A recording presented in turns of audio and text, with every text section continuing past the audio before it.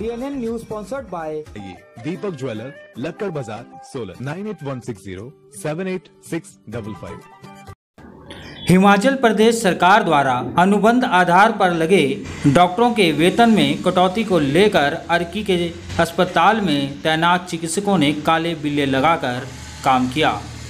शनिवार को यहाँ पर तैनात सभी डॉक्टरों ने काले बिल्ले लगाए और काले बिल्ले लगाकर सरकार के प्रति अपना विरोध दर्ज करवाया। चिकित्सकों का कहना है कि कोविड काल में चिकित्सकों ने कोरोना प्रहरी के तौर पर सबसे आगे बढ़कर कार्य किया, लेकिन यह विडंबना है कि सरकार उन्हीं के वेतन में कटौती कर रही है। सभी चिकित्सकों ने सरकार से मांग की कि सरकार अपने इस निर्णय को तुरंत वापस ले और उन्हें पहले की तरह ही वेतन बहाल किया जाए। चिकित्सकों ने बताया कि उनके वेतन में करीब इक्यासी सौ रूपए प्रति माह की कटौती की जा रही है। कोविड काल में चिकित्सकों ने अपनी जिम्मेवारी बहुखूबी निभाई है, लेकिन बावजूद इसके उनके वेतन में कटौती का मतलब उन्हें समझ नहीं आ रहा है।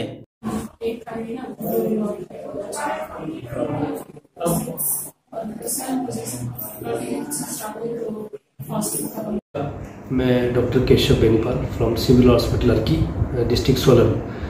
तो हमारे चिकित्सक वर्ग जो इस कोरोना के दौर में हम बड़े दिन रात से काम कर रहे हैं लेकिन दुर्भाग्यपूर्ण बात यह है कि हमारे चिकित्सक वर्ग का जो ग्रेड पे में कटौती की गई है और जो कि 150 परसेंट सैलरी कम मिलती है तो उसको कुल मिला के जो है हमारे चिकित्सक वर्ग में बड़ा रोष है और हमारी प्रदेश सरकार से ये अनुरोध है कि इस कटौती को वापस लिया जाए ताकि हमारा चिकित्सक वर्ग बड़े अच्छे दिल से और खुले मन से कोरोना के वॉरियर में काम करें और इस बीमारी से निपटने के लिए और हम स्पष्ट होके काम करें।